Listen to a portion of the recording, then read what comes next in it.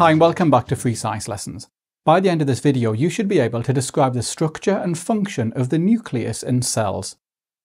Okay, now in order to appreciate the role of the nucleus, you need to understand the importance of proteins to living organisms. Firstly, enzymes are proteins, and enzymes are required for all the chemical reactions taking place in cells. Other proteins play a structural role in cells, for example moving organelles to where they're needed. And some proteins act as transport molecules, for example hemoglobin, which transports oxygen in mammals. So protein synthesis is one of the most important functions taking place in cells. Protein synthesis involves several different organelles. Firstly, the instructions for encoding the amino acid sequence of a protein are contained within the gene for that protein. And these genes are part of the chromosomes, which we find in the nucleus.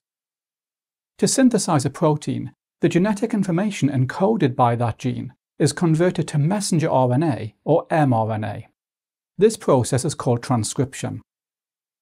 This mRNA then leaves the nucleus. Now, a ribosome reads the information contained in the mRNA and synthesizes the protein molecule, and this is called translation. Now, if the protein remains in the cytoplasm, for example a cellular enzyme, then translation will take place on a free ribosome in the cytoplasm. However, some proteins are secreted from cells, for example digestive enzymes and antibodies. Secreted proteins are translated on a ribosome attached to the rough endoplasmic reticulum. These proteins then make their way through the rough ER and the Golgi apparatus before leaving the cell. We'll be looking at these organelles in later videos. So it's really important that you appreciate the role of the nucleus in protein synthesis. Okay, let's take a look at the structure of the nucleus. The first idea you need to understand is that the nucleus contains a material called nucleoplasm.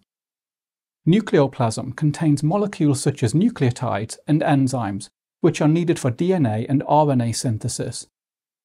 Surrounding the nucleus, we have a double membrane. Scientists call this the nuclear envelope. I'm showing you a close-up of the nuclear envelope here, and you can see that it consists of two phospholipid bilayers. Now within the nuclear envelope we find nuclear pores. The function of the nuclear pores is to allow molecules to enter and leave the nucleus. For example, RNA nucleotides enter the nucleus through nuclear pores from the cytoplasm. And these nucleotides are used in the nucleus to synthesize messenger RNA. The messenger RNA then leaves the nucleus via a nuclear pore and undergoes translation on a ribosome. Now the outer membrane of the nuclear envelope is continuous with the rough endoplasmic reticulum. And as we saw before, the rough endoplasmic reticulum plays a role in protein synthesis. I'm showing you an electron micrograph of a nucleus here. As you can see, the nucleus contains a dark material.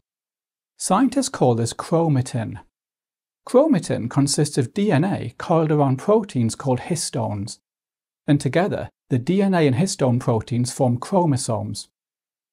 Remember that the DNA in a chromosome is a linear molecule. In other words, the ends of the DNA are not joined to form a loop.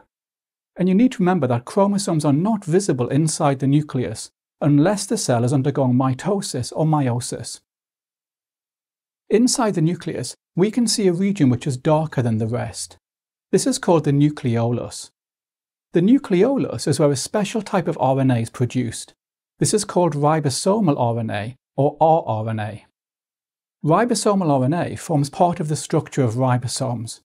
And as well as forming rRNA, the nucleolus is also where ribosome subunits are assembled. Okay, so hopefully now you can describe the structure and function of the nucleus.